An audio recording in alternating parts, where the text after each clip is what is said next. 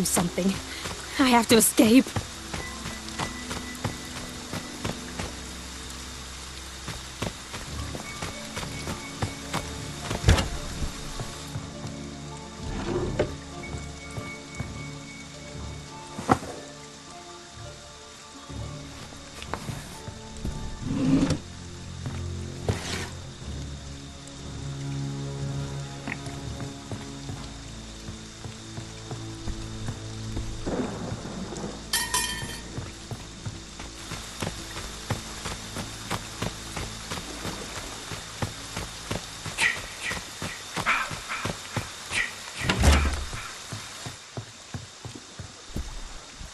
Anyone out there, you have to come to Camp Crystal Lake. Bring a gun.